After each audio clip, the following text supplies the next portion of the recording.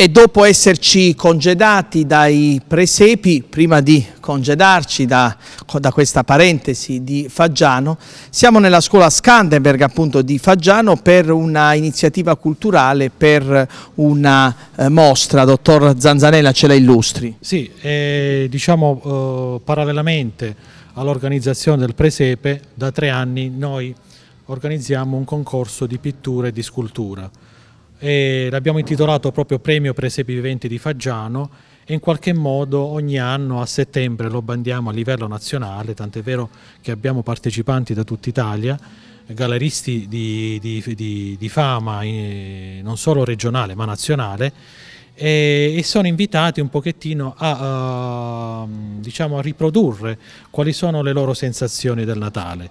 Quest'anno in occasione del centenario della guerra del 15-18 abbiamo voluto che l'artista si cimentasse nel rappresentare quale poteva essere il Natale al fronte.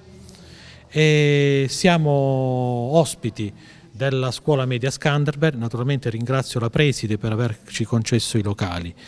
Quest'anno il primo premio è stato assegnato alla scultura e a un famoso ceramista grottagliese che è il maestro Esposito. E inoltre è stata allestita sempre qui nella scuola media una mostra foto fotografica delle più belle immagini che sono state raccolte dagli ultimi dieci anni del Presepe, una mostra fotografica eh, che è stata donata dal nostro sponsor ufficiale del Presepe da tanti anni, diciamo dalla nascita, ovvero oh, Mitos Fotografie di Mimmo Pastorelli.